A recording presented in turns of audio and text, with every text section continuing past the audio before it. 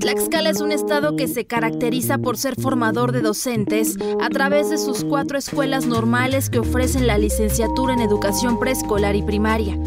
En sus planes de estudio se brindan los conocimientos para que los maestros en formación estén preparados para trabajar frente a grupo.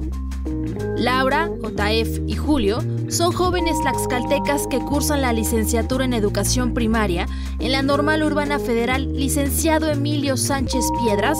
¿Qué fue lo que les hizo decidirse por esta carrera? Ellos mismos nos platican. La verdad empecé con esto de la convocatoria entonces yo creí que esta carrera se iba a cerrar. Entonces estaba en duda, pero fue mi primera opción. Entonces este, al ingresar, pues obviamente me hicieron mi examen, pero yo no tenía cierto conocimiento de qué implicaba la carrera.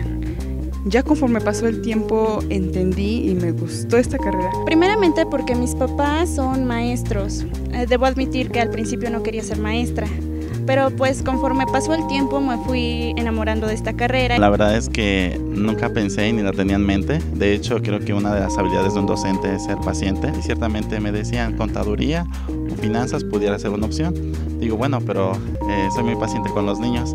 Estudia la normal. Accedo a esta normal, vengo aquí, saco mi ficha, hago mi registro, paso mi examen y quedo acreditado. La carrera en la normal urbana tiene una duración de cuatro años, es decir, ocho semestres en los que los jóvenes reciben la formación para desarrollar saberes profesionales que están centrados en los enfoques de aprendizaje, competencias, así como flexibilidad curricular académica y administrativa. Si bien la normal urbana les brinda los conocimientos académicos necesarios para la formación de sus futuros alumnos, los estudiantes han aprendido durante sus prácticas que ser maestro es mucho más que enseñar las lecciones, pues necesitan también escuchar a los niños y sus inquietudes.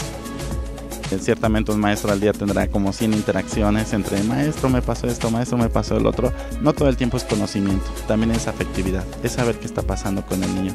En situaciones se llegan a decir papá o te dicen mamá, te dicen tío, doctor, maestro, psicólogo, porque pareciera que lo somos, pero nos cuesta trabajo, pero ahí estamos para ellos. Y yo lo puedo hacer y me comprometo ante la educación en mi país y sobre todo en mi estado de Tlaxcala.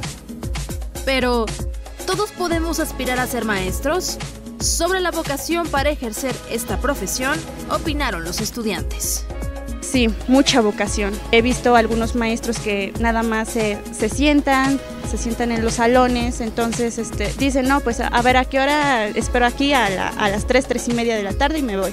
Y pues ese no es el motivo, ¿no? El motivo es que tú tú comprendas a los niños, tú convivas con los niños, tú juegues con los niños, porque el, niño aprende con juego. Sí necesitamos de vocación, porque se está presentando esto de que muchas personas que no tienen precisamente la vocación eh, hacen que las generaciones tengan algunas deficiencias en cuanto a educación y formas de, de comportarse. Entonces yo sí considero que necesitan la vocación para cuidarlos, para educarlos y porque de verdad les importe la, educación, que les importen los niños. El sector educativo vive un cambio importante en el que se busca que los maestros estén cada día más preparados, pues en sus manos están los menores que en un futuro tomarán las decisiones de nuestro país. Ante esto, el compromiso de los jóvenes alumnos es seguir preparándose, pues entienden que la educación es movimiento yo estoy muy a favor de las actualizaciones. Eso sí, eh, hay muchos docentes que dicen este, que van a, a varias a varios este, discursos diciendo que no, que no está bien y así. Bueno, hay algunos, no, no todos, son contados, ¿verdad? Pero sí eh, estoy a favor de esta reforma educativa, puesto que nosotros debemos prepararnos, debemos prepararnos y si otros países lo hacen, ¿por qué nosotros no? Con imágenes de César Vázquez, edición, Adrián Vargas, Marina Lovera, ahora noticias.